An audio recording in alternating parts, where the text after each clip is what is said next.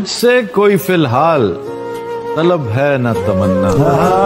तुझसे कोई फ़िलहाल तलब है न तमन्ना। इस शहर में जैसे तेरा होना ही बहुत।